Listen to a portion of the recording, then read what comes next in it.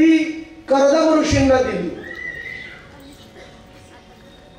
परीक्षितीने सुखदेवजींना प्रश्न विचारला महाराज याच्यात विदुर मैत्री पण संवाद आहे विदुर मैत्रीजींचा संवाद आहे. शुक शौनकाधिक ऋषींचा संवाद आहे. सुत शौनकाधिक ऋषींचा संवाद आहे. आणि राजा परीक्षितजी आणि सुखदेवजींचा संवाद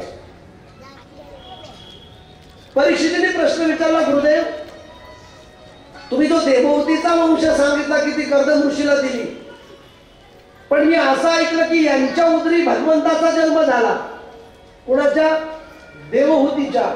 मग तिची कथा वंश विस्तार मला आम्हाला विस्तार पूर्वक सांगा. तर देवभूतीचा वंश विस्तार आपण अतिशय विस्तार पूर्वक बघूया. काय बोलू राधे राधे? जरा जोरशे बोलू मनू आणि शत्रुपाच्या तीन मुली. त्यामध्ये मधली मुलगी देव होती. ही अतिशय सुंदर होती सुसंस्कारी होती. तिचं नाव होतं देव होती. कधी कधी काय होतं काही मुली सुंदर असतात पण सुसंस्कारी नसतात. काही सुसंस्कारी असतात पण सुंदर नसतात. काही सुंदरही नसतात आणि सुसंस्कारी नसतात. पण लाखात एक संस्कारी असतात आणि सुंदरही असतात. त्यापैकी देवभूती माता मोडते अतिशय सुंदर आणि सुसंस्कारी. आणि नियम असा आहे आपली मुलगी लग्नाला उपवर झाली उपवर झाली लग्न योग्य झाली की आई वडिलाला रात्रभर झोप येत चिंता असते सारखी आई वडिलांना. की मुलीचं कसं होईल? आता उलट कलियुगात तरी बरं आहे. आता खूप छान वातावरण आहे. पूर्वी ज्यांना मुली होत्या ना त्यांना टेन्शन असायचं. बरोबर आहे का नाही? मुलीचं लग्न योग्य झाली की आई वडिलाला टेन्शन यायचं जास्तीत जास्त आईला टेन्शन यायचं. जावाई कसा मिळेल? घर खानदानी मिळेल का नाही? बिना व्यसनाचं मिळेल का नाही? ते फार टेन्शन असायचं मुलीवाल्यांना पूर्वी. आता मुलीवाल्यांना टेन्शन नाही मुलावाल्या टेन्शन घेतात. या बघा या पुढच्या बसल्यात ना माझ्या या मुलावाल्या जास्त टेन्शन घेतात. येणारी बाई कशी असेल? चहा कॉफी देईल का नाही वेळेवर? जमाना बदलला. म्हणजे कधी कुणाचा नंबर लागेल काही सांगता येत? म्हणूनच तर तो मन पडले. चार दिवस सासूच्या चार दिवस? याचा अर्थच असा. पूर्वी मुलीवाल्या चिंता करायच्या जावाई कसा मिळेल? आता मुलावाल्या चिंता करतात सून कशी येईल? आल्याबरोबर इथं ठेवील का तर पुण्याला घेऊन जाईल? ही ही चिंता वाढत गेली. आणि मनु आणि शत्रुपा महाराजांना ही चिंता सतवत होती. पण जे भगवंताचे भक्त असतात ना चिंता त्यांच्या जवळ येत नाही. कारण त्यांना ते स्पर्श सुद्धा करत नाही. का स्पर्श करत नाही? कारण भगवंताचे भक्त चिंता करत नाही चिंतन करतात. आणि जे चिंतन करतात का त्यांना चिंता करण्याची गरज आपण चिंता करतोय म्हणून त्रास आहे. आपण जगदंबा माते शाकंबरी मातेचं चिंतन करा आपली चिंता ती ऑटोमॅटिक करेल योगक्षेम महामेहम तिच्यावर भार सोडा ती ऑटोमॅटिक आपला भार सांभाळते पण आपण चिंता करतोय. चिंतन करत नाही. मग आपण चिंतन करायला प्रारंभ करा चिंता ऑटोमॅटिक ती करते. एक दिवस जंगलामध्ये कर्दम नावाचे ऋषी तपश्चर्या करत होते. कर्दमजीच्या स्वरूपाचं वर्णन असं केलं जातं. अतिशय देखण राजबिंड स्वरूप. आणि तपश्चर्या करतात भगवंताची. भगवंताची तपश्चर्या करत असताना कर्दमजीच्या तपश्चर्याला यश आलं. आणि भगवान प्रगट झाले. त्याविषयी बोलून राधे राधे भगवान प्रकट झाले. आणि काय इच्छा ते मांगून घे. आपको जो चाहिए जिसलिए आपने तप किया है, कुछ मांग लो मेरे पास. करदम जी कहने लगे, भगवान, मैंने जो आपकी तपश्चर्या की, कुछ मांगने के लिए नहीं की। मुझे कुछ नहीं चाहिए। और एक बात बताओ भगवान की एक आदत है। जो माँगता नहीं, उसी से ज़्यादा फोर्स करते मांग लो। जो मागत नाही का देव त्याला म्हणतो काहीतरी माग. आणि जो मागतो का देव त्याला काही देत नाही. मग आपण ठरवा मागायचं का नाही मागायचं? एक गोष्ट सांगू का? मांगो उसी से जो दे खुशी से. आपण मी कुणापुढे हात पसरतो जो महाकंजूस त्याच्या पुढे हात पसरतो नाही उसी से मांगो जो दे खुशी से. आणि भगवंताचा एक रूल आहे. की तो ज्याला जो भगवंताला मागतो ना देव त्याला देत नाही. उलट जो मागत नाही का त्याला देव देतो. मी संत चरित्र मी कधी कधी भक्तमाल कथा करतो भक्तांच्या वैष्णवांच्या कथा. त्यामध्ये तुकाराम महाराजांची कथा सांगत असतो मी. तुकाराम महाराज जेव्हा पंढरपूरला जायचे तेव्हा पांडुरंग म्हणायचे काहीतरी मागा. मनसे काही मागा. पण तुकाराम महाराज मागत नव्हते. तसं कर्दमजीला भगवान म्हणतात काहीतरी मागा. कर्दमजी म्हणतात नाही काही नको मला. काहीच नकोय एक मार्मिक गोष्ट सांगू का? भगवंताला काही मागू नका. या जगदंबा शाकंबरी मातेला कधीच काही मागू नका. कारण तुम्ही काही जरी मागितलं ना तर तिला चांगलं कळतं तुम्हाला काय पाहिजे.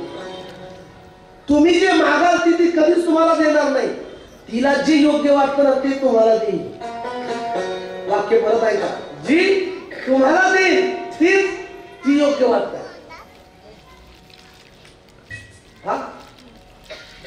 तिचं रूल्स है एक झोली में फूल बरसे और एक झोली में काटे. इसका भी तो कोई कारण होगा. ती दे देणाऱ्याला बरोबर देते. आपण मनाने शांतपणा करू नका. आपण डॉक्टरकडे जायचो आणि मला ह्या या गोळ्या द्या. अरे तू डॉक्टर आहे त्याला कळतं तुम्हाला काय पाहिजे. आजार तुमचा काय आहे डॉक्टरला कळतं. म्हणून डॉक्टरने दिलेलं औषध घ्या. आपण शहाणपणा करू नका की ह्याच गोळ्या द्या. कधी देवाकडे मागू नका कधी जगदंबेला मागू नका की मला हे द्या. आणि यापेक्षा पुढे वाक्य सांगतो. त्या जगदंबा शाकंबरी मातेनं अष्टकरांना एवढं दिलं की तुमच्या लायकीपेक्षा जास्त दिलं. माझं व्यासपीठावरनं वाक्य पुन्हा ऐका विराजजी तुम्हाला त्या शाकंबरी मातेने एवढं दिलं की तुमची लायकी सुद्धा नव्हती एवढं घेण्याची. एवढं तुम्हाला दिलं. आत्मपरीक्षण करा. चला मी तुमची गोष्ट सोडतो. माझी गोष्ट बोलतो माझी. मला जे माझ्या भगवंताने दिलं मला जे माझ्या शाकंबरीनं दिलं हे माझ्या लायकीपेक्षा जास्त दिलं. फक्त समाधानी जीवन जगायला शिका. समाधानी. बारकाईने विचार करा. सूक्ष्म विचार करा. आत्मपरीक्षण करा. आत्मचिंतन करा. जे जगदंबा मातेने तुम्हाला मला दिलं ना ते तुमच्या माझ्या लायकीपेक्षा जास्त दिलं. जर आज आम्ही या क्षेत्रात नसतो तर तुम्ही आमच्या पाया पडले असते. फार फार झालं तर किती डिग्री घेतली असती? पाच पन्नास हजार रुपयाची नोकरी केली असती. यापेक्षा जास्त काय? पण आज कोट्याधीश लोक आज आमच्यासोबत आहेत. भगवंताने दिलेलं आहे. मग तुम्हाला जे दिलं ना शाकंबरी मातेला ते खूप काही दिलं. एक वाक्य सांगतो दादा, हिंदीतलं, नीट ऐका. तुमच्या हृदयावर कोरून ठेवा. मुझे जो मिला है, मेरे भाग्य से अधिक मिला है. आपको जो मिला है, आपके भाग्य से अधिक मिला है. मुझे जो मिला है, मेरे भाग्य से अधिक मिला है. अगर अगर आपके पाँव में जूता नहीं है, चप्पल नहीं है तो रोना मत। आपको जो मिला है, आपके भाग्य से अधिक मिला है। अगर आप किसी के पाँव में चप्पल नहीं है, जूता नहीं है तो रोना मत। क्योंकि दुनिया में कई ऐसे लोग हैं, जिन्हें भगवान ने पाव ही नहीं दिए। वाक्य पुन्हा लक्षात घ्या आपल्या पायात चप्पल नाही ना म्हणून रडू नका अरे आपल्या पायात चप्पल नाही म्हणून तरी आपण खुश आहेत. दुखी होऊ नका कारण जगात असे कितीतरी लोक आहेत त्यांना काय नाही आहेत? पायच नाही आहेत. मग पाय नसणाऱ्यापेक्षा चप्पल नसणारा? आणि आम्ही रडतोय आम्हाला बाटा कंपनीची चप्पल नाही म्हणून. अरे किती मूर्ख आहे आम्ही. त्या जगदंबा मातेचे उपकार म्हणा चप्पल नाही म्हणून रडत बसू नका. मुझे जो मिला है मेरे भाग्य से अधिक मिला है। अगर यदि आपके पाँव में जूता चप्पल नहीं है तो रोना मत क्योंकि दुनिया में कई ऐसे लोग हैं जिन्हें शकंबरी मारने पावी नहीं दी है त्याच्यापेक्षा दुनिया में किती सुखी आहे दोन टायमाची दाल रोटी व्यवस्थित खातोय चार चाकल्या गाडीत फिरतोय नोकर चाकर सोबत आहे आणखी काय पाहिजे आणि एक गोष्ट सांगू का त्या शाकंबरी मातेला झिरो बाजूला हिरो करता येतं शाकंबरी मातेला झिरो वाल्याला हिरो करता येतं आणि हिरो वाल्याला झिरोही तिला करता येतं. रोडपतीला करोडपती करेल आणि करोडपतीला रोडपती तीच करणार आहे. म्हणून रोडपती जास्त उन्माद करू नका आणि रोडपती जास्त दुःखी होऊ नका. तिच्या हातात सूत्र आहे. ती बरोबर नाही. म्हणून मागू नका तिला काही. मागणारा तिथे एवढी संख्या आहे बाबा. न बोललेलं बरं. मंदिरासमोर गेला आपण आळंदी देऊ पंढरपूर तीर्थक्षेत्रात गेला तर मंदिरासमोर मागणारे भिकारी. मी तर म्हणतो ते भिकारी तरी बरे त्यांच्यापेक्षा एक प्रोफेशनल भिकारी आहे. एक मंदिराच्या बाहेर भिकारी एक आतमध्ये भिकारी. आतमधले भिकारी वेगळे बाहेरचे भिकारी वेगळे. बाहेरचे भिकारी दहा पाच रुपये दिले की खुश होतात. आणि जो बाहेर भिकाराला भीक देत जातो का? सूटबूटवाला तो सगळ्यात मोठा भिकारी. तुम्ही परीक्षण करा जो सूट बोट असतो टाय असतो ड्रायक्लिनचे कपडे असतात ना तो मंदिरातल्या बाहेरच्या भिकाऱ्याला दहा पाच रुपये देऊन आत जातो. आत गेल्यानंतर पहिलं देवा पुढे हात पसरतो देवा जगदंबा माता शाकंबरी माता इन्कम टॅक्स वाल्याला घरी येऊ देऊ नको. भिकत मागतो ना तो इन्कम टॅक्स वाला घरी येऊ देऊ नको म्हणजे काय? फॅक्टरी चांगली चालू दे. मुलाचं लग्न होऊ दे नातू होऊ दे. अरे भिकत मागणे देवा पुढे देवा पुढे कधी काही मागू नका. त्याला कळतं कुणाला काय द्यायचं ते. प्यारशे बोलो राधे राधे. जरा जोरशे बोलो ना. कर्दमजीला हजार वेळा आग्रह केला देवानी पण कर्दमजीने मागितलं नाही. मग देवाचा एक नियम आहे. देव आणि समाज हे दोन तत्व एवढे डेंजर आहेत. चांगल्या माणसाला कुठे अडकवतील हे फक्त देवाला समाजाला माहीत. जे कुठेच अडकवत नाहीत ना देव त्यांना काय म्हणतो माहितीये का? दोन गोष्टीला अडकतो समाज आणि देव. एक तर पैसा नाही तर मग स्त्री. पैसा नाही तर स्त्री. या दोन गोष्टी देव अडकवत असतो आणि समाज अडकवत असतो चांगल्या माणसं भगवान बोले कर्दम जी कुछ तो कुछ मांग लो बोले ना कुछ नहीं चाहिए. भगवान बोले स्वर्गलोक दे दू बोले ना बिल्कुल नहीं चाहिए. कैलाश बोले ना चाहिए. ये ले लो ना. वो ले लो ना. हे पाहिजे का नको? ते पाहिजे का नको? मग काय देऊ काय देऊ? नंतर हळूच भगवान म्हणले कर्दमजी अहो तुम्ही झोपडीत राहताय जंगलात तपश्चर्या करताय. दिवा लावायला लागतो साफसफाई झोपडी करायला होते. एखादी सुंदर मुली आणून लग्न करून देऊ का? कोणाला म्हणलं देऊ? कर्दमजी आता ऐका चमत्कार. जे कर्दमजी हे नको ते नको हे नको ते नको म्हणणारे लग्न करून देऊ का म्हणतात तर काहीच नाही. गप बसले. आणि गप बसले की देवाच्या लक्षात आलं कुछ दाल मे काला मन में लड्डू फुटा आतापर्यंत नाही नाही म्हणायचे. आणि डायरेक्ट लग्न करून देऊ का गप बसले? कधी कधी गप बसणं सुद्धा काहीतरी स्वार्थ असतो हो बघा कधी कधी नकारात सुद्धा होकार असतो. नकारात सुद्धा होता. एखाद्या मुलीची एंगेजमेंट झाली. आणि तिची मैत्रीण तिला विचारते का ग? कसे माझे जिजू? मग ते दहा त्याचे मित्र आलेले असतात हॉलमध्ये आणि मग ही खिडकीतनं दाखवती मैत्रिणीला. मग तिची मैत्रीण विचारते ते जीन्सवाला ती म्हणते नाही. तो चष्मेवाला ती म्हणते नाही. मग तो टोपीवाला ती म्हणते नाही. मग तो बॉबकटवाला? आणि जो असतो का की आतापर्यंत नाही नाही म्हणते त्याच्याकडे बोडी गेला ती गप बसते. आणि गप बसली की समजायचं हेच ते चित्र. तिच्या नकारात सुद्धा त्याचा काय होता कर्ज म्हणजे नाही नाही म्हणलं लग्न करता का म्हणलं की शांत बसलं भगवंताच्या लक्षात आलं मुलगा सापडला. भगवंताने कर्दमजीला सांगितलं कर्दमजी मी तुमच्यासाठी सुंदर मुलीचं स्थळ घेऊन येतो. आल्यानंतर मुलीला नाही म्हणू नका. आणि भगवंताची जशी आज्ञा पण कर्दमजीने भगवंताकडनं एक प्रॉमिस करून घेतलं. कर्दमजी म्हणले प्रभू मी तुमच्या शब्दावर लग्न करायला तयार आहे पण माझी एक आट आहे. काय आट आहे? मला तुमच्यासारखा मुलगा पाहिजे. कुणासारखा? कर्दमजी म्हणाले तुमच्यासारखा मुलगा पाहिजे. भगवान बोलले हमारा डबल रोल दुनिया में नहीं है हम अकेले हैं बोले मला काही माहिती नाही. मला तुमच्यासारखा मुलगा पाहिजे. भगवान बोले चिंता मत करो आप शादी तो करो. मैं खुद आपका बेटा बनके प्रॉमिस झालं. आणि भगवान इकडे आले म्हणू आणि शत्रुपाकडे. ही जी लग्न जुळवणारी माणसं असतात ना त्याला काय म्हणतात हो तुमच्या इकडे? नाही नाही, नाही मध्यस्थी मध्यस्थी शब्द आठवतो होतो. ही लग्न जुळवणारी फार फार बुद्धिवान असतात इकडच्या पार्टीला एक सांगणार तिकडच्या पार्टीला एक सांगणार यांना सांगणार मुलांकडे वीस एकर ऊस आहे फक्त. म्हणजे जोड सूत्र जुळवण्यासाठी कर्दमजी मुलीची आशा घेऊन बसले भगवान मनवाने शत्रुपाकडे आले. त्यांची मधली मुलगी देवती पाहिली. भगवान म्हणाले मनू आणि शत्रुपाला मुलगी लग्नाला आलेली दिसते बेटा काय करते तू? ती म्हणे काय नाही एमपीएसची तयारी चालू आहे. मग लग्नाची तयारी काय? आई बाबा म्हणतील तसं. मनू आणि शत्रुपाला विचारलं काय तयारी आहे? मनू आणि शत्रुपा म्हणलं प्रभू एखादं चांगलं स्थळ बघा ना. कारण आई वडील प्रत्येक पाहुण्याला हेच म्हणतात एखादं चांगलं स्थळ बघा. भगवान म्हणले माझ्याकडे एक सुंदर स्थळ आहे.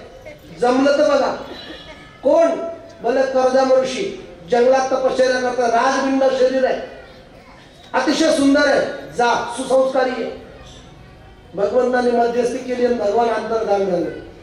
इकडे मनु महाराज शतरूपा आणि त्यांची एकुलती ती मधली मुलगी देव होती. गेली. कर्दमजीच्या कुटियाकडे. आता भगवंतानी मॅनेजमेंट परफेक्ट केली होती. इकडे सांगितलं मुलगी येईल. आणि इकडे सांगितलं त्याच मुलाला द्या. कर्दमजीने पाहिलं. आपल्या कुटियाकडे कुणीतरी येतंय म्हणून. आपल्या कुटियाकडे कुणीतरी येतं म्हणून हे कर्दमजीने जेव्हा पाहिलं तेव्हा कर्दमजीच्या लक्षात आलं भगवंताने पाठवलेले हेच ते पाहुणे अतिथी. आणि कर्दमजीने फटाफट आपली झोपडी झाडली आणि तीन आसनं टाकले बसायला. सदस्य किती येत होते? बोला बोला. किती? कोणते कोणते?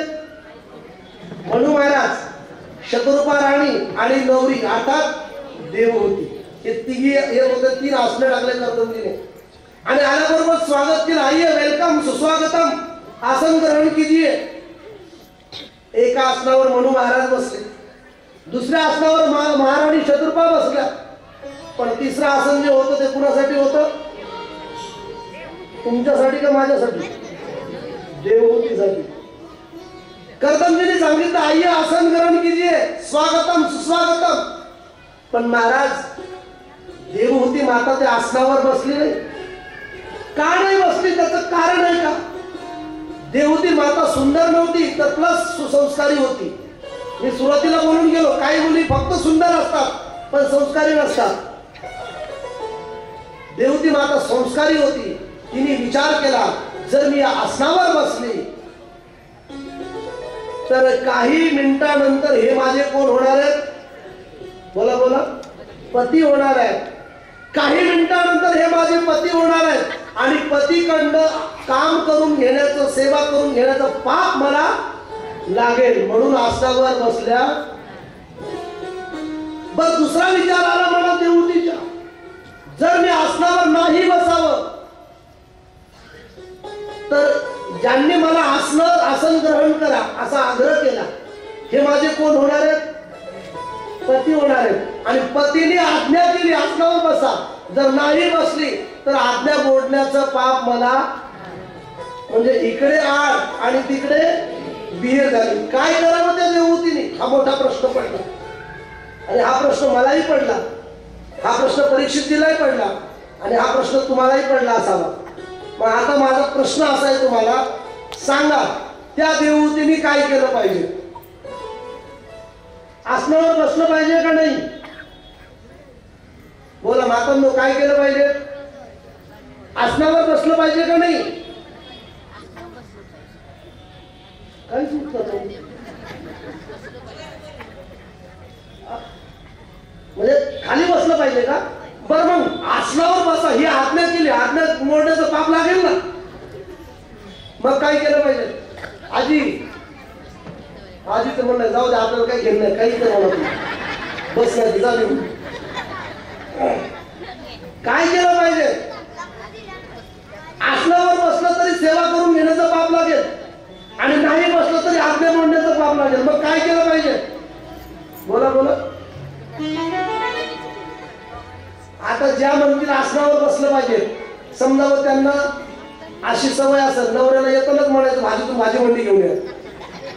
दोन मेथीच्या जुड्या घेऊन या. येताना दळण घेऊन या. हे सांगणारे समजायचे आसनावर बसा म्हणते आणि न बसा म्हणणाऱ्यांचं काय होईल? नवरा म्हटलं चहा करा तरी घ्या तुम्ही हातानेच. म्हणजे आज्ञा न पाळणार आहोत मग करायचं काय? सोपी आहे. देवती माता सुसंस्कारी होती. तिने काय केलं दादा आसनावर बसला नाही. पूर्ण शरीर आसनाच्या खाली ठेवलं. आणि आपला उजवा हात आसनावर ठेवला. ऍक्शन बघा. शरीर जमिनीवर ठेवलं आणि उजवा हात आसनावर ठेवला. यातून दोन्ही गोष्ट साध्य झाल्या. एक तर आसन रिक्त नाहीये. आसनावर काय आहे? हा अर्थात आसन रिझर्वेशन आहे. हा हा हात आहे म्हणजे काय? रिझर्वेशन आहे. आणि पूर्ण बसल्यात का? नाही. शरीर जमले. म्हणजे सेवा करून घेण्याचंही पाप नाही आणि आज्ञा मोडण्याचंही पाप नाही. याला साधं उदाहरण देऊ का? साधं उदाहरण. पूर्वीचा काळ आष्ट्याचाच. आष्ट्याला पूर्वी प्रत्येकाकडे गाड्या घोड्या नव्हत्या. मग सांगलीला जायचं म्हणलं की आष्ट्यावर एक दोन बस असायच्या. फार पन्नास वर्षापूर्वी गोष्ट सांगतो चाळीस पन्नास वर्षापूर्वी. मग जुने लोक काय करायचे? बस बस स्टँडला आली. गर्दी प्रचंड असायची. मग आपली श्वाल नाही तर खिडकीत लागायची. हे ना जुन्याचे करंट चालू झाले. आठवणी जुनी गोष्ट. मग श्वाल अशी खिडकीत टाकायचे अख्खी लोक गाडीत बसायची पण याने तिथं श्वाल टाकले तिथं कोणी बसत मग हा बसला का? नाही. पण तरी दुसरा कोणी बसला का? नाही. याचा अर्थ ते काय आहे? रिझर्वेशन झालं. हात आसनावर ठेवला म्हणजे खाली आहे का? नाही. आणि जमिनीवर शरीर आहे म्हणजे आसनावर बसले का? उदाहरण म्हटलं का? परफेक्ट चारशे बोलू लागले झाले. जरा जोरशे बोलू ना लक्षात आलं पोरगी पास आहे. हे सांगतो तरुण मुलांनो पोरगी कधी तिच्या फेस रेडिंग वर जाऊ नका. गोरी म्हणजे पास करू नका. तिची परीक्षा घ्या. जशी कर्दमजीने परीक्षा घेतली ना तुम्ही परीक्षा घेण्याच्या भानगडीत पडू नका. मिळाली ती तशी करा. हा स्वार्थाची मी का त्याचं सांगतो तुम्ही माझा आहे तुमचं वाटलं होईल. एखादी भेटली की लगेच हो म्हणा. फार चालू चालायचे नाही तर मग आपली मामाचीच झाला शेवटी मामाचीच केली म्हणता येईल त्या शेवलं आले ना जरा जोरशे बोलू ना. और जोरशे बोलू. कर्दमजीच्या लक्षात आलं मुलगी पास आहे दोघांचं बोलणं झालं हो हो पास झालं. पण कर्दमजीने एक आठ टाकली. म्हणून महाराज शत्रुपाला सासराला सासूला काय आठ आहे मी लग्न करेन तुमच्या मुलीशी पण माझी आठ आहे. म्हणून मला वाटतं फॉर्च्युनर मागत असेल. फॉर्च्युनर भले फॉर्च्युनर नाही मग माझी एक आठ आहे. एक संतती झाली की मी संन्यास घेणार. म्हणून महाराज शत्रुपा म्हणे देवती बेटा. हा लग्नाच्या अगोदरच घटस्फोट मागतो चल आपला दुसरा बघू येतात देवती म्हणली नाही बाबा ही आठ मला मान्य आहे. आणि माझ्याकडे काय बघताय? हो गया ना जंगल में मंगल. झालं लग्न? झालं. म्हणून महाराज शत्रुपा पाणी ग्रहण करून निघून आले. कन्यादान केलं आणि निघून आले. आता इकडे या. दोघच कर्दमजी आणि देवती जंगलात कुटिया. पण शेवटी कर्दमजीच्या लक्षात आलं. ज्याने आपलं लग्न जमवलं आपणच त्याला लग्न पत्रिका द्यायचं विसरलो. कथा ऐकताना सर्व? लग्न कुणी जमवलं? कर्दमजीचं? कुणी? भगवंतानी. आणि लग्न झाल्याकडे येतात भगवंताला आमंत्रण दिलं. असंच होतं दादा. व्यवहारात पण असंच होतं. ज्याने मध्यस्थी केली का माणूस त्याला सांगायचं विसरलं. होतं आपल्याकडे चुकून होत असं. कर्दमजीच्या लक्षात आलं प्रभूने आपलं लग्न जमवलं. आणि आपण देवाला सांगायचं विसरलं. काय करावं? शेवटी भगवंताला क्षमा याचना करण्यासाठी कर्दमजीने डोळे बंद केले. आणि डोळे बंद करून कर्दमजी भगवंताला प्रार्थना करतायत. हे प्रभु, आपकी कृपा से मेरी शादी हो गई. आपकी कृपा से दुनिया में मेरा नाम हो गया. लेकिन मैं गलती ही हो गई, मैं क्षमा चाहता हूँ कि मैं आपको बोलना भूल गया. और भूलने वाला तो जीव होता है। आप तो शिव हो, परमात्मा हो, लेकिन प्रभु, एक ध्यान में रखना, दुनिया में मेरा जो नाम हो गया है, कि मेरी शादी हो गई, मैं बड़ा बिजनेसमैन बन गया, मैं बड़ा कथावाचक बन गया, मैं शुगर फैक्ट्री का चेयरमैन बन गया। ये जो मेरा नाम हो गया ना प्रभु, वो मेरे वजह से नहीं, आपकी वजह से, आपकी कृपा से। सब काम हो रहे हैं, करते हो तुम कन्हैया, बस नाम मेरे को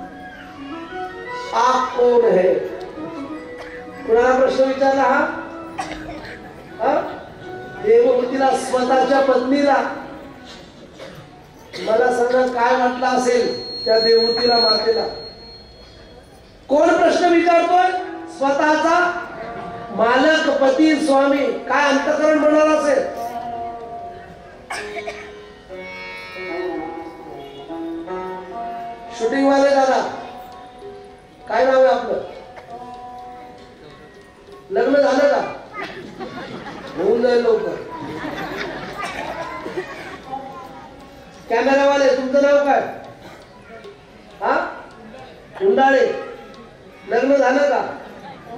बर मग आता एक काम करा आमच्यासाठी. आता कथेवर घरी जाणार आहेत ना.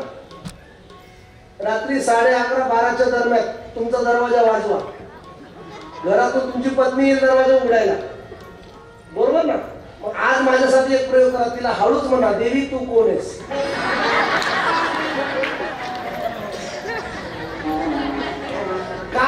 कामावर येईल ना ते आम्हाला उद्या कधी येऊन सांग. विषय असा आहे. जर तुम्ही हा प्रश्न विचारला ना तुम्ही म्हणजे तुम्हीच नाही तुमच्यापैकी कुणी प्रयोग करा. फक्त उद्या अँब्युलन्समध्ये येऊ नका. बेललेलीच मार पडेल तुम्हाला. डायरेक्ट म्हणतील मला ओळखलं नाही मी कोण जवळजवळ दहा वर्ष झाले असतील लग्नाला. काय वाटलं असेल देवतीला जेव्हा प्रश्न विचारला? माझ्या विनोदात्म अध्यात्म घ्या म्हणजे तुमच्या लक्षात येईल. देवतीला विचारलं देवी तू कोण आहेस? तेव्हा देवतीने सांगितलं नाथ स्वामी जरा स्मरण शक्ती जागृत करा. स्मृती आठवा. आणि आठवा काही वर्षापूर्वी तुमच्याकडे एक राजा आणि एक राणी आली होती. तिचं नाव मनू आणि शत्रुपा होते. त्यातून हा मला आठवतं थोडं थोडं त्यांच्यासोबत एक सुंदर मुलगी आली होती. कर्दमजी म्हणले हा मला आठवते थोडं थोडं. तिचं नाव देवभूती होतं. कर्दमजी म्हणले हा आठवतं मला थोडं थोडं. आणि तिचा तुमच्याशी विवाह झाला. कर्दमजी म्हणले हा आठवतं मला थोडं थोडं. आणि काय आठवतं थोडं थोडं? तीच मी ती देवभूती कर्दमजी म्हणले देवी तू? अगं मी विचार केला. मी भजनात बसलो डोळे बंद केले तपश्चर्या केली. तू घरी गेली निघून माय केला. वडिलाकडे गेले असेल. देवते म्हणले मी काय ती कलियुगातली मुलगी नाही?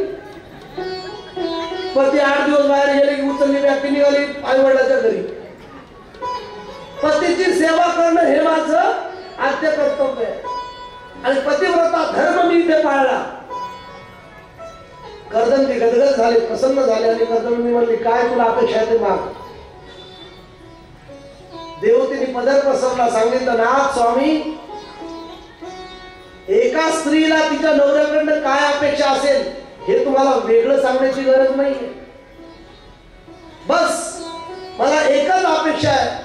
मला वात्सल्याचं प्रेम हवंय. अर्थात मला आई व्हायचंय. कर्दमजी म्हणजे प्रसन्न तथा असतो आणि राजा परीक्षेला सुखदेवजी सांगतात राजन कर्दमजी आणि देवहूती कामद नावाच्या विमानामध्ये बसले. कामद नावाच्या विमानात बिंदू सरोवरावर गेले. आजही तुम्ही गुजरात मध्ये जाल तर बिंदू सरोवर आहे. मातृगायाच्या जवळ. तिथं गेले बिंदू सरोवरामध्ये त्यांनी स्नान केलं. सचल स्नान आणि दोघही युवा झाले तरुण झाले. आणि राजा परिषदेला सुद्धा ती सांगतात राजन त्यांनी संसारिक जीवनाला प्रारंभ केला. कोणत्या जीवनाला? संसारिक जीवनाला.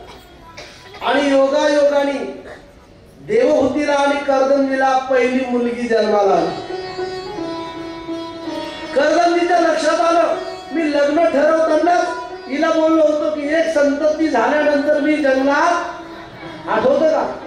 स्टॅम्प पेपर बॉन्ड आठवत का? देवतेला सांगितलं मी बोलल्याप्रमाणे जंगलात जाणार आहे एक संतती झाली.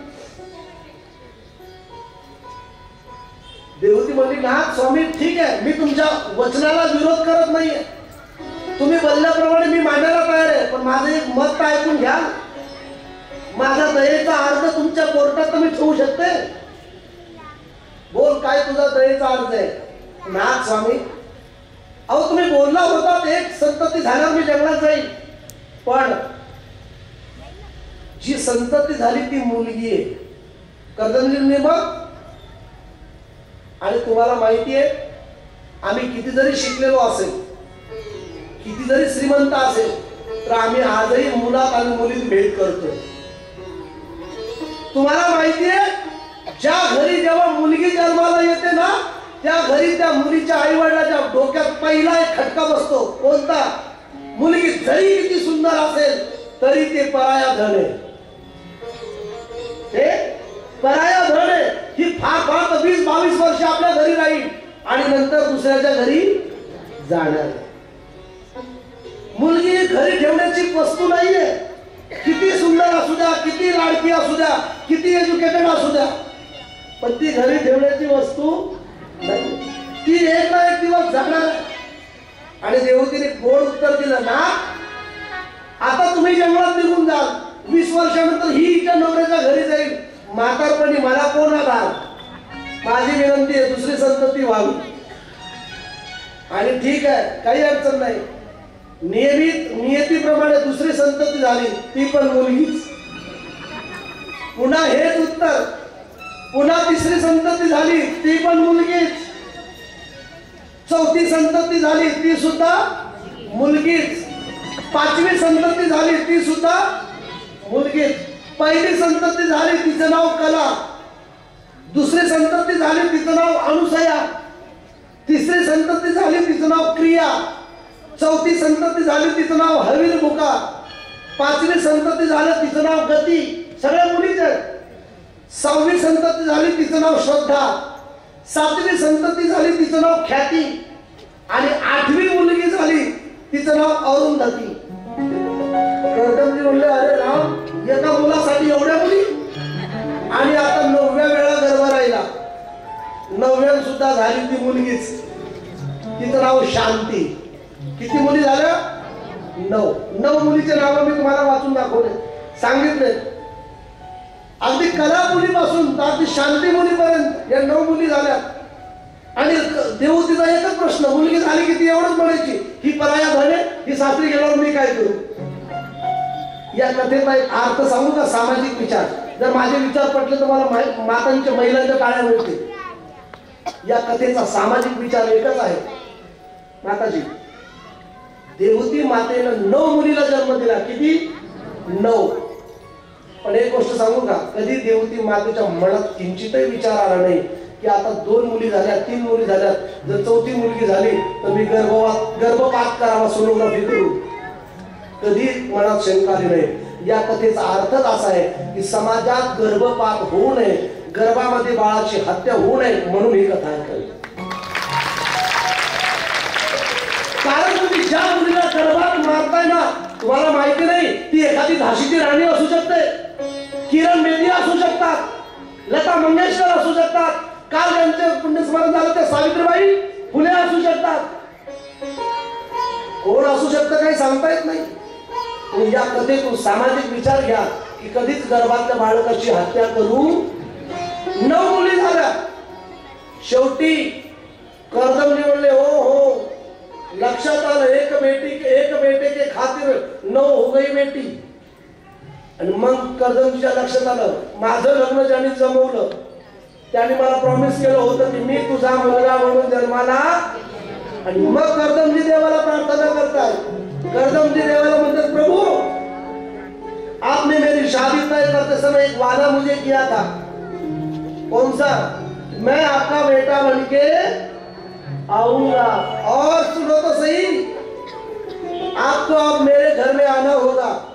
अभी मैं संसारी बन गया हूँ और ये मेरा छोटा सा संसार है।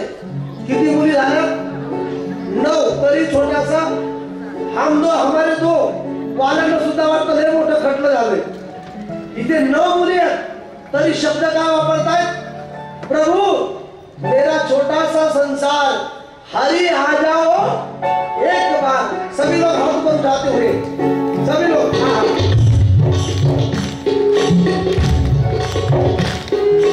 हाँ.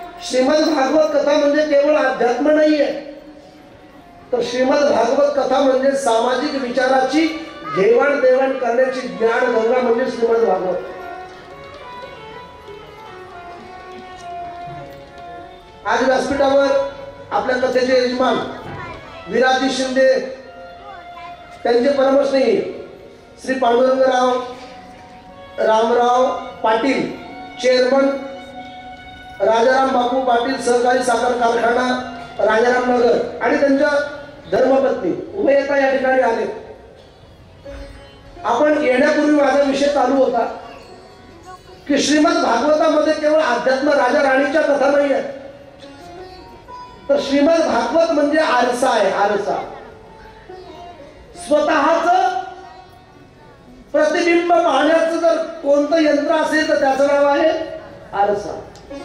आणि श्रीमद भागवत स्वतःची ओळख करून देणारा ग्रंथ म्हणजे श्रीमद भागवत आहे.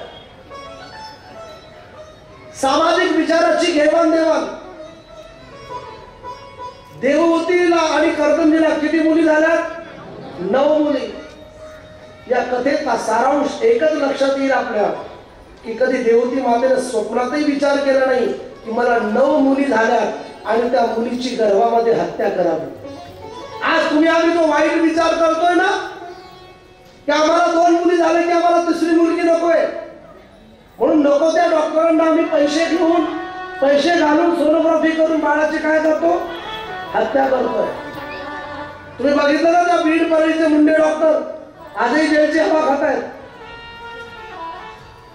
आणि एक सांगतो तुम्हाला मातांनो तुमच्यावर दोन नारी शक्तीची कृपा आहे. एक पहिली कृपा म्हणजे जगदंबा शाकंबरी मातेची कृपा आहे. आणि दुसरी कालची काल ज्यांची आपण आठवण केलं जयंती केली त्या सावित्रीबाई फुलेंची तुमच्यावर कृपा आहे. समाजामध्ये वावरण्यासाठी तुम्हाला स्वातंत्र्य कुणी दिले असाल तर ते सावित्रीबाई फुलेंनी दिलं आणि अध्यात्म धर्माचं पालन आणि पतिव्रता धर्माचं शिक्षण आणि संस्कार कुणी दिले असतील तर ते जगदंबा शाकंबरी मातेच्या कृपेने मिळाले. म्हणून नारी शक्तीने कधी आपल्या गर्भातल्या बाळाची हत्या करायची नाही मग तो मुलगा असो किंवा मुलगी. ही घाणेरडे विचार पहिले डोक्यातून काढा. आणि जर देवतीने हा विचार केला असता मुली आहेत म्हणून जर हत्या केली असती तर मी तुम्हाला लिस्ट वाचून दाखवली. नऊ मुली हवीर मुका अनुसया शाती गती या नऊ मुली नऊ ऋषींना दिल्या. त्यापैकी एक मुलगी जी त्या ऋषींना दिली त्यांची कथा सांगून पुढे जातो. अनुसया नावाची मुलगी देवतीची आणि कर्दमजीची ती अत्रे ऋषींना दिली. आणि अत्रि आणि अनुसयापासून कोण जन्माला आले? भगवान दत्तात्रय. मग कल्पना करा जर देवती मातेने गर्भातच मुलीची हत्या केली असती तर अनुसया जन्माला आल्या असत्या? आणि अनुसया जन्माला आल्या नसत्या तर दत्तात्रय प्रकट झाले असते? म्हणून प्रार्थना माझी विनंती आहे तुम्हाला. आपल्या घरातली सून असो किंवा लेख असो कधीच गर्भातल्या बाळाची हत्या करायची नाही. आणि हा जर तुम्ही संकल्प केला सगळ्या मातांनी पुरुषांनी तर माझ्या विचाराच्या दृष्टीने खऱ्या अर्थाने दोन हजार वीस ची शाकंबरी नवरात्र खऱ्या अर्थाने यशस्वी होईल. नाही तर फक्त कथा ऐकायच्या या कानाने ऐकायचं आणि याने सोडून द्यायचं. प्रॅक्टिकली काय? आचरण काय? याला फार महत्त्व आहे. राजा परीक्षेला सुद्धा सांगतात राजन करदमजीने प्रार्थना केली की मेरा छोटासा संसार हरी आ जाओ. एक बार आणि नऊ मुलीच्या नंतर दहावी संतती झाली. ती म्हणजे माझे कपिल भगवान. बोल कपिल भगवान की. कपिल भगवंताचा काय झाला? जन्म झाला. आणि कपिल भगवान तेच कोणते? जे सांख्य शास्त्राचे करते. सहा शास्त्र आहेत ना? त्यापैकी जे सांख्य शास्त्र आहे त्या शास्त्राचे कर्ते म्हणजे कपिल भगवान. आणि ठरल्याप्रमाणे नव मुलीत नव ऋषीला विवाह केला. कर्दमजी जंगलात भगवंताच्या तपश्चर्याला गेले. आता घरात उरले ते फक्त दोन सदस्य एक कपिल भगवान आणि माता देव होती राजा परिषदेला सुखदेवजी सांगतात राजन कपिल भगवंताने आणि देवती मातेने हे घरात दोनच सदस्य उरल्यानंतर एक दिवस काय झाला? देवती मातेने चौरा चौरंग आणला चौकी. घरात आसन टाकलं आणि कपिल भगवंताला आसनावर बसवलं. कपिल भगवंताच्या समोर बसल्या आणि कपिल भगवंताला हात जोडून विनम्र भावनेने प्रार्थना करतायत. भगवान मी जीव आहे तुम्ही शिव आहात. माझ्या जीवनातले काही प्रश्न आहेत मला तुम्हाला प्रश्न विचारायचे तेवढ्यात कपिल भगवान म्हणजे अहो आई तुम्ही माझ्या आई आहात.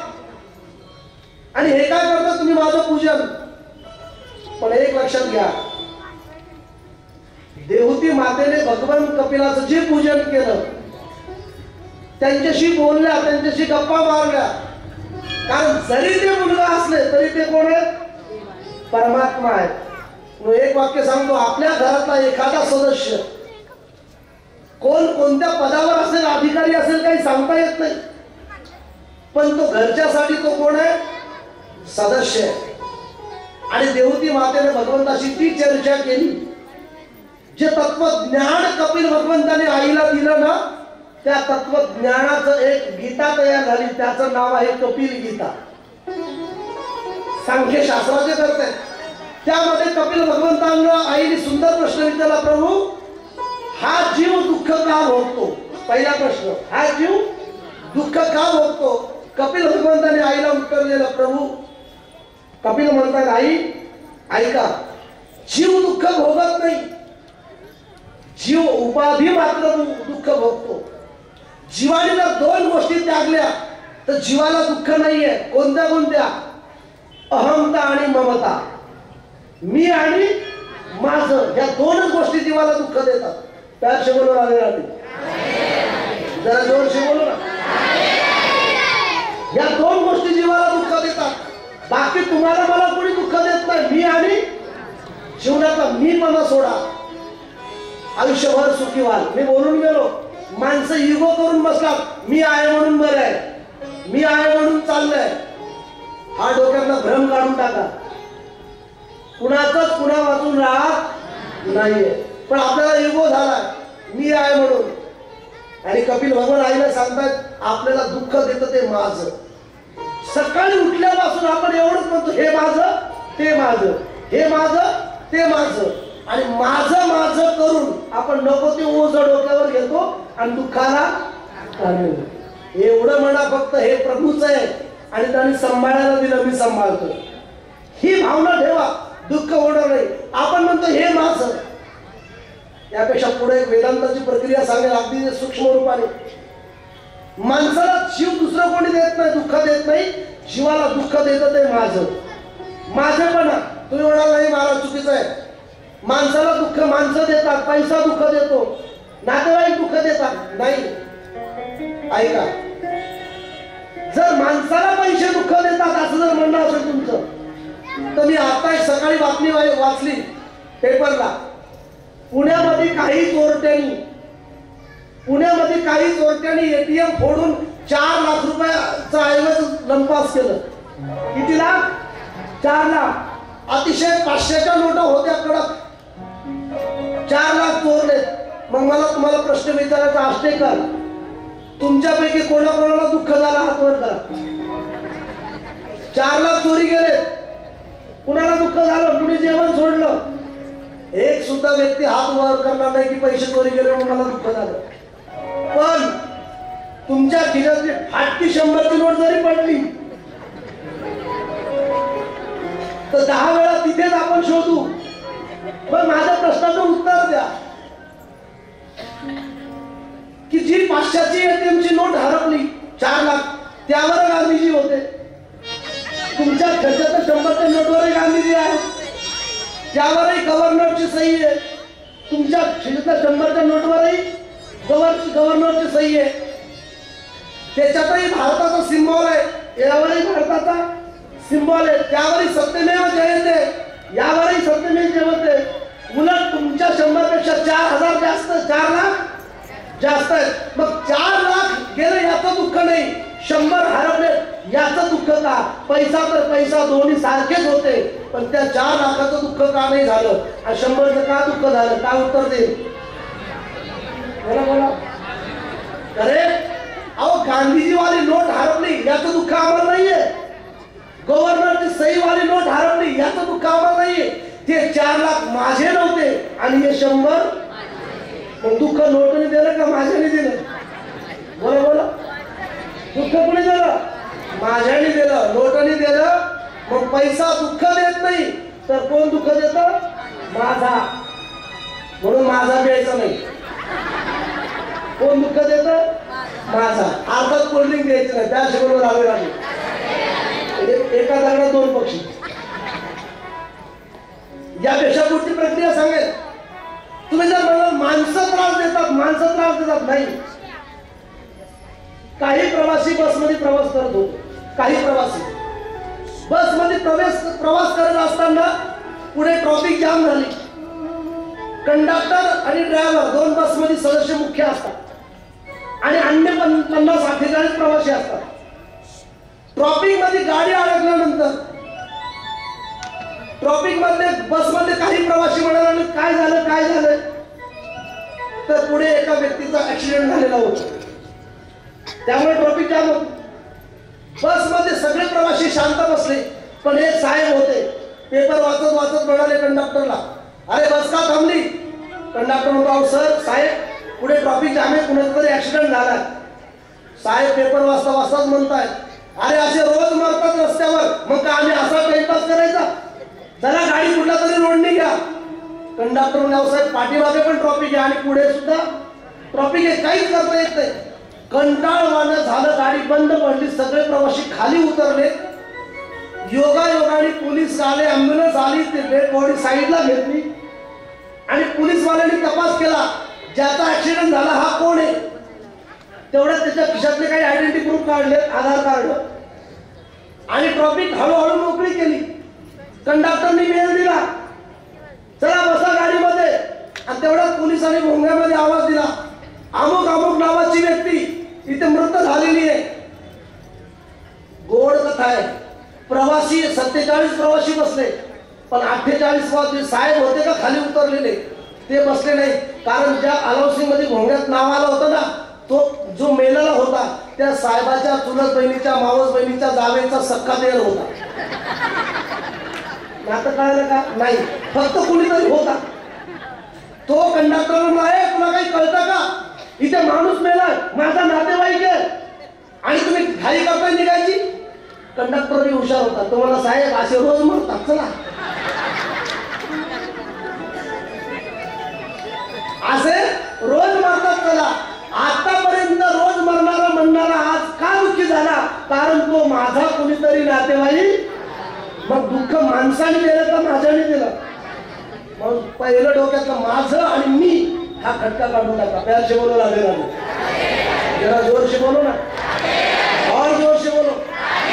आणि माझा आणि मी जर लावायचाच असेल तर संसारिकातल्या व्यक्तींना लावण्यापेक्षा कधीतरी जगंबा शाकंबरी मातेला म्हणा मी तुझा आहे आणि तू माझी. म्हणा कधीतरी. आपण काय करतोय? नको त्याला माझं नको त्याला.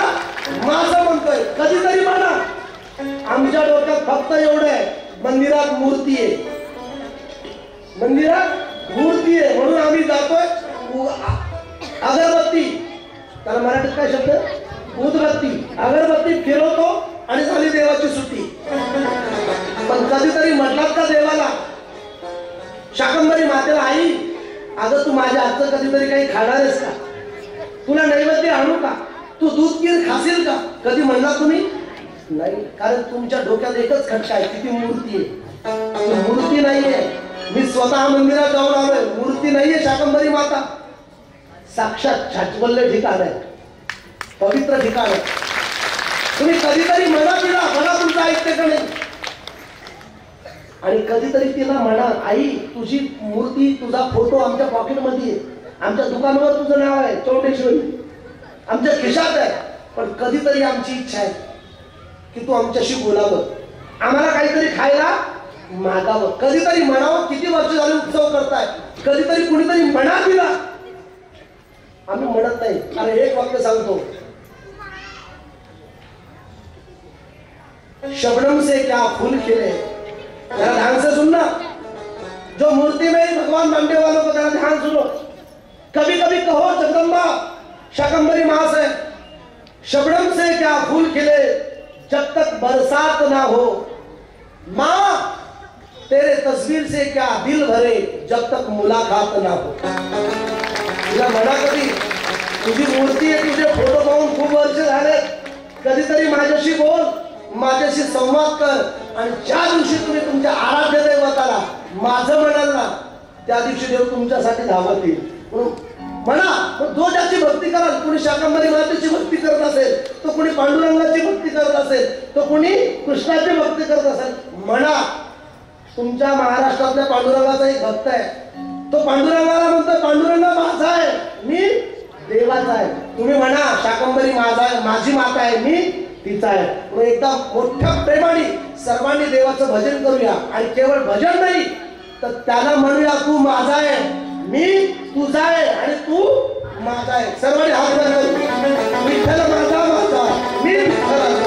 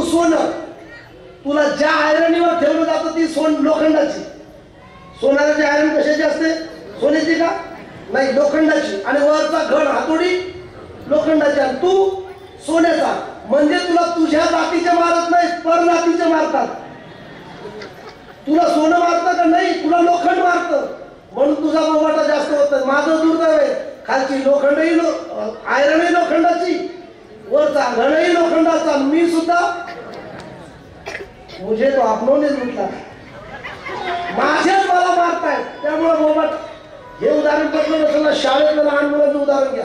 की छोटे छोटे छोटे रिचार्ज माझ्यासमोर यांना शाळेत मित्रांनी मारू द्या. रडत सुद्धा नाही. तिकडं किती मार खाऊन येऊ द्या. रडणार नाही.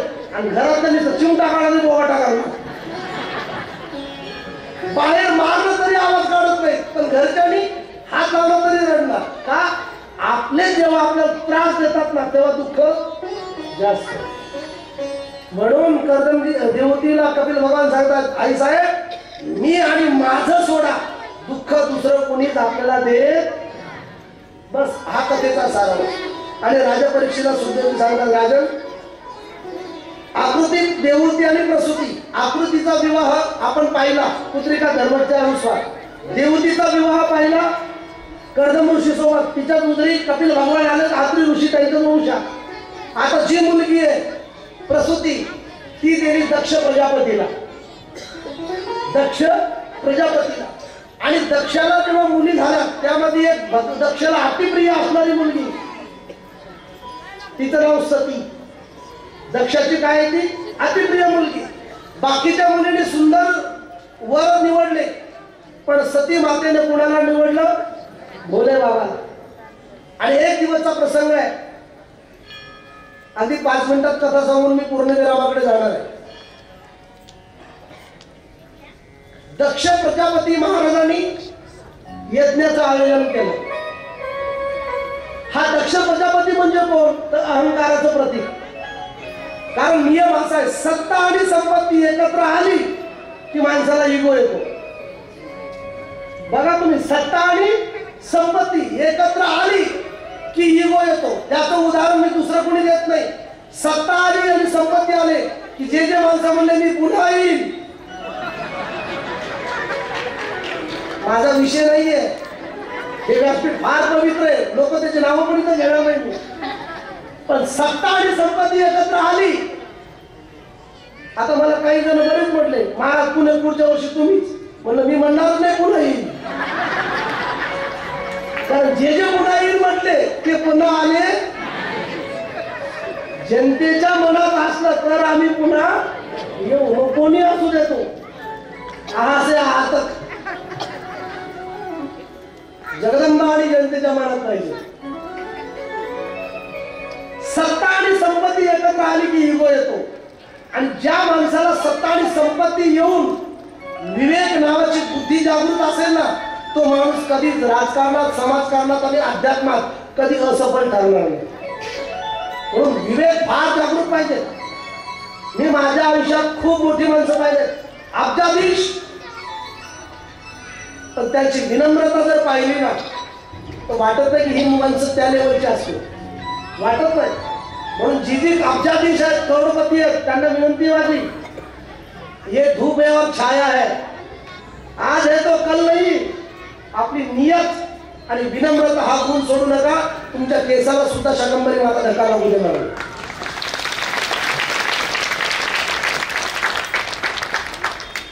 एवढं शाजबल्य पवित्र ठिकाण शाकंबरी मातेचं. विवेक नावाची बुद्धी जागृत आहे. हा दक्ष प्रजापती. प्रजापती म्हणजे अर्थात सभापती. हे पदाच आहेत ना. चेअरमन सभापती अध्यक्ष उपाध्यक्ष. सत्ताधीश होता आणि संपत्ती होती. मग त्याने एका यज्ञाचं आयोजन केलं. यज्ञामध्ये सर्व देवी देवतांना बोलवलं भगवान भोले शंकराला बोलवलं. आता खरं भोले शंकर कोणाचे जामाई दक्ष प्रजापतीची एक मुलगी सती भगवंतानी भोले बाबाला दिलेली. आता खरं तर दक्ष प्रजापतीनं सतीचा विवाह हा भोले बाबाशी करून दिला नाही. सतीला भोले बाबा आवडत होते. म्हणून सतीने विवाह कुणाशी केला? एक सांगू का जे मनाने लग्न करतात का त्यांना घरचे सुद्धा नीट बोलत नाही तरुण मुलांना ऐका जर मनाने तुम्ही पोरगी घरात आणली आणि ती जर तुम्हाला नीट बोलली नाही तुम्ही जर आई बाबाला म्हणले आई बाप ती नीट राहत नाही. आई म्हणते तुझाच उद्योग. तू आमचं ऐकलं का? नाही. मग हीच गोष्ट मुलींना पण आहे. दक्ष प्रजापतीचा सतीने मनाने लग्न केलं विवाह फुले बाबाशी. परिणाम काय भोगावा लागला आपल्याला पुढे माहिती भोले बाबाला आमंत्रण केलं पण भोले बाबा हम रे हमारे मस्ती में आग लगे भले बस्ती में. मस्त भोले बाबा. आणि जेव्हा सभेमध्ये सभेमध्ये आल्यानंतर दक्ष प्रजापती आल्यानंतर ब्रह्मदेव उभे राहिले नारद उभे राहिले इंद्र चंद्र महेंद्र सर्वांनी उभं राहून स्वागत केलं. नियम आहे जेव्हा ज्येष्ठ व्यक्ती आपल्या सभेत येतो अधिकारी व्यक्ती येतो तेव्हा उभं राहून स्वागत करणं ही आपली संस्कृती आहे प्रोटोकॉल आहे केलंच पाहिजे. मग मुख्यमंत्री असेल आणि पंतप्रधान जरी असतील तर अध्यक्ष महोदय म्हणावंच लागतं. का? कारण त्यांना मान नाही त्या खुर्चीला मान आहे. सगळे उभे राहिले पण मोरे बाबा उभे राहिले नाहीत. का नाही राहिले? त्यांना लक्षातच नाही कोण सभापती कोण अध्यक्ष. ते त्यांच्या मस्तीत ही भोले बाबाला मस्ती होती कशाची? नशा होती कशाची? भांग धतुरा खायो. भोले बाबा काय कशाची नशा करतात? बघा शिवरात्रीला भांग तुमच्याकडे असते का नाही? शिवरात्रीला भांग नश्यामध्ये होते भोले बाबा. आणि मी तर माझं उलट म्हणणं आहे माणसाने नशा करावी. अवश्य करावी. काहींचे चेहरे फार खुल्ले असतील आता. असे महाराज पाहिजे आपल्याला नशा करा म्हणणार हा? भोले बाबा सुद्धा मस्तीत होते. एक वाक्य माझ्या मित्रांनो नीट ऐका अवश्य नशा करा. अवश्य ड्रिंक करा दारू पिया. पण ब्रँड चेंज करा. तुम्ही जी पिताय ना ती पिऊ नका. म्हणजे जी भोले बाबा पित होते जी नारद प्रणाली पिली ती पिया. अर्थात तुम्ही जी दारू पिता ना तिची नशा कामापुरती होती. मला सांगा आपण जी दारू पितो तिची नशा किती वेळ राहते? कोण सांगेल?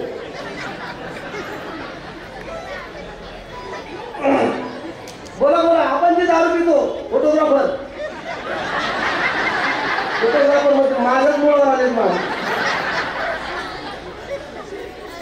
तुम्ही सांगा तुम्ही. किती वेळ राहते आपण पिलेली नशा? आठ तास. जास्त पाणी टाकताय का?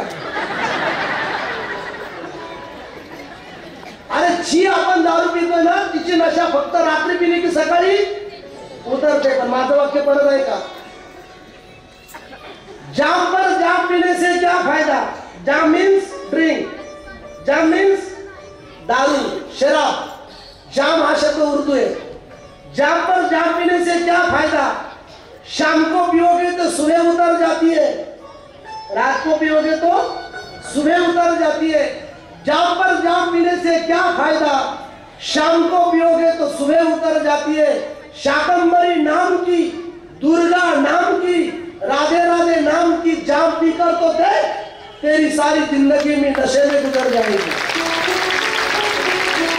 तरी राधे राधेची जाम पिऊन बघा नशा एवढी रात्रभर उतरणारी नशा नाही आयुष्यभर तुमची नशा उतरणार. मग ती कशी प्यायची सर्वांनी दोन हात एकच मिनिट फक्त. अशी नशा प्यायची एवढं कधी राहायचं अरे बोल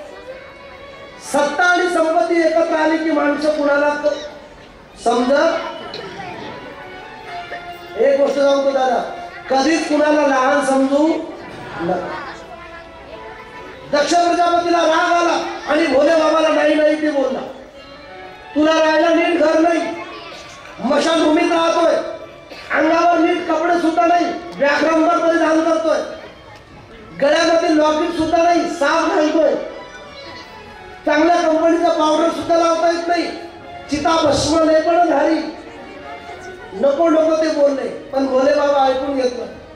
आणि एक दिवस भोले बाबा कैलास पर्वतावर निघून आले. कथेतलं मार्मिकता लक्षात घ्या. भोले बाबाचं आणि सासऱ्याचं आता दक्ष प्रजापतीचं भांडण झालं.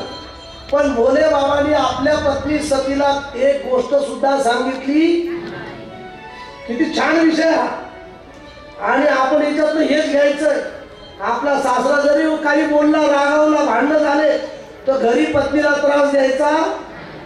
एवढं जरी घेतलं तरी कथा यशस्वी आपण एवढे हलकट आहे सासऱ्याने जर मार्केटला रामराम नाही घातला तरी घरी त्रास. तुझा बाप मला भेटला बोलला सुद्धा नाही. तू काय कलेक्टर नाही का तुला बोलायला? या कथेचा सारांशच हा घ्या की कुणीही कुणाकडनं मानाची अपेक्षा करू आणि एक दिवस प्रजापतीने खुनसीने भोले बाबाचा अपमान करायचा म्हणून यज्ञाचं आयोजन केलं. सर्वांना आमंत्रण दिलं पण भोले बाबाला दिलं आणि मग ब्रह्मदेव विष्णू नारद सर्वजण दक्ष प्रजापतीच्या यज्ञाला आमंत्रित केले. आणि जाताना बघा विष्णू सहपरिवार आमंत्रण होतं. विष्णू आणि लक्ष्मी वैकुंठात निघाले. आता त्यांनी डायरेक्ट जावं ना. पण नाही. कैलास पर्वतावरनं पार्वती सती माता सकाळी सकाळी झाडू काढत होती ना झाडून तेवढ्यात लक्ष्मी आपली नटून खटून पार्लरमध्ये येऊन तुम्हाला काय वाटलं तुम्हीच पार्लरला जाता पूर्वीपासून पार्लर आहे. आली आणि सतीला विचारलं अगं तुझी आंघोळ नाही झाली का? अ, तुला यायचं नाही का? त्या महिला एवढ्या खुनशी असतात ना प्रमाणाच्या नाही एखादीला जर काही तिच्याकडे नसेल ना तर मुद्दाम तिच्या पुढे घालून तिला चिडवणार. आणि माझ्यासारखी साडी आहे का तुला? त्याचा परिणाम तुम्हाला भोगावा लागतो. लक्ष्मी माता गेली आणि सतीला म्हणे यायचं नाही का? सतीमा म्हणली कुठे? अगं तुला माहिती नाही का? तुझ्या वडिलाच्या घरी मोठं यज्ञाचं आयोजन आहे आणि आम्हा सगळ्यांना आमंत्रण केलं. सती मातेला वाईट वाटलं. पण वाईट नाही वाटलं. सती मातेला असं वाटलं की माझ्या बापानी आम्हाला पत्र पाठवलं असेल पण आमचं घरच असं की तिथं पोस्टमन बिल होत नाही. बर कॉलेज केला असेल पण आउट ऑफ कव्हरेज एरिया बाहेर. टावरच नाही तिथे. कैलास पर्वत आणि मग हे सगळं पराक्रम पाहून भोले बाबाच्या जवळ गेली सती माता. आणि सती मातेनं भोले बाबा नुकतेच भजनातून उठले होते. आणि सती मातेने डायरेक्ट कॉफी केली आणि भोले बाबाला आणून दिली कॉफी चाय कॉफी भोले बाबा म्हणले रोज सांगून येत नाही आज न सांगता आली.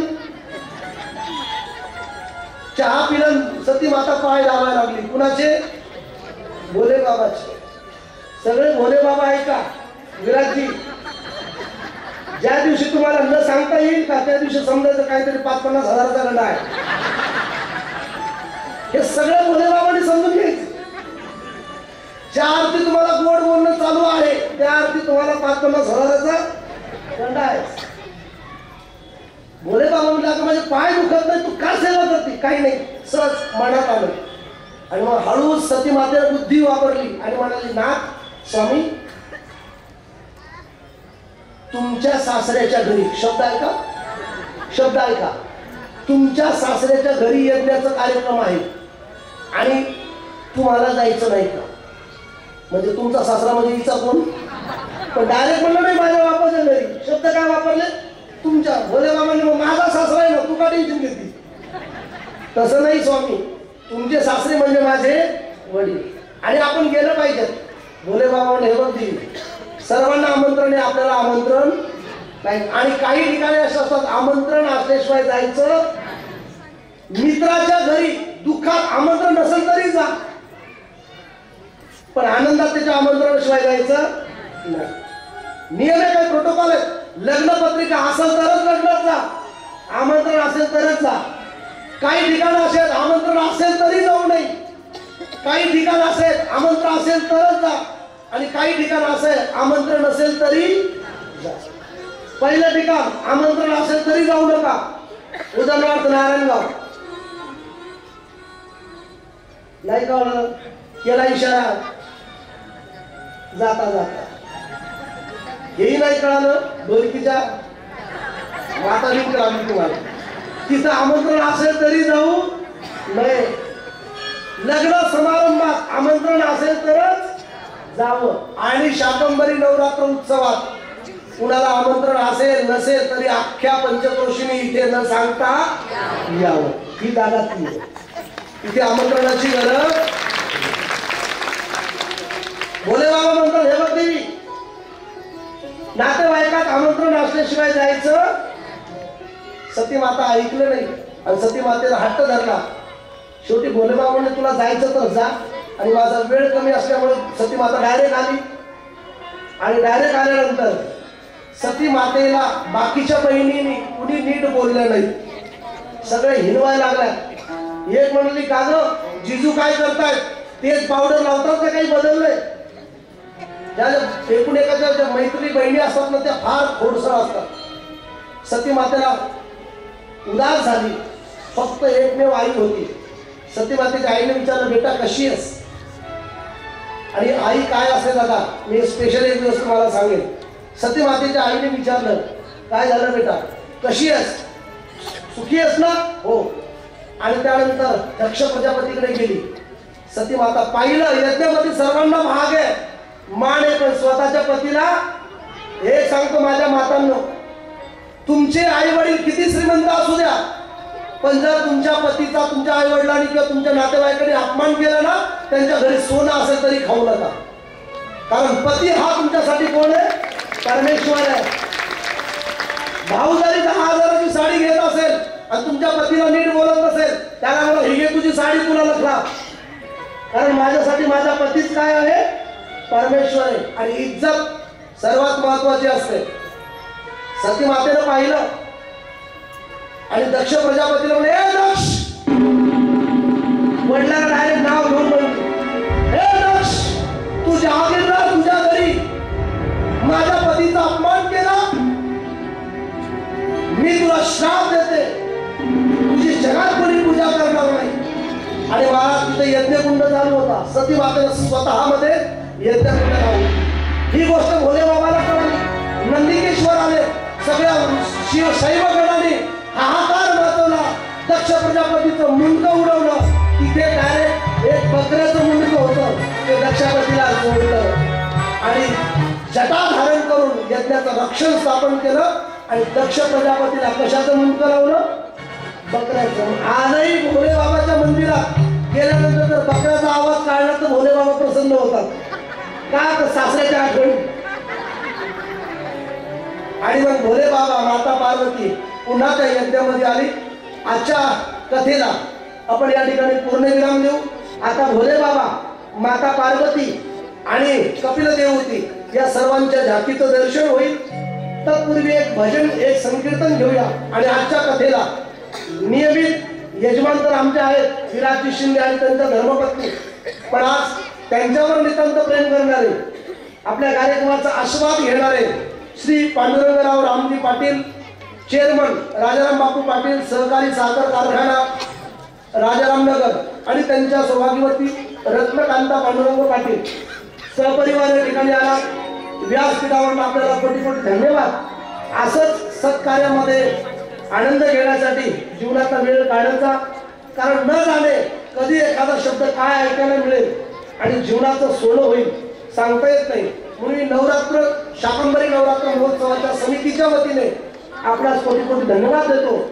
आणि आता या ठिकाणी भोले बाबा आणि माता पार्वती या झाकीचं दर्शन सर्वांना होणार आहे.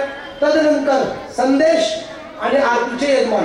भोले बाबाचं सर्वांनी आगमन करायचंय एक भजन घ्यायचंय. आणि सर्वांनी भोले बाबांना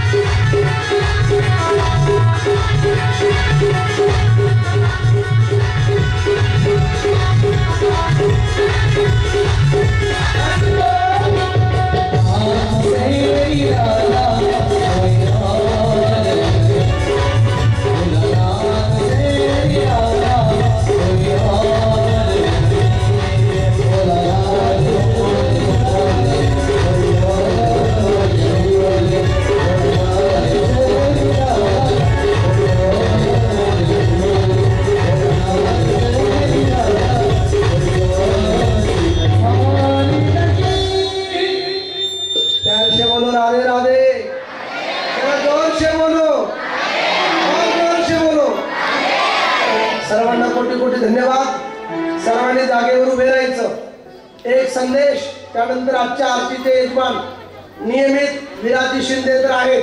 पण त्याबरोबर पांडुरंगरावजी पाटील आणि त्यांच्या सौभाग्यवती हि ओम चंद्रमा मनसो जातक्षो सूर्यो अजायत. श्रोत्राद्वायुष प्राणश मुखादग्निरज सदा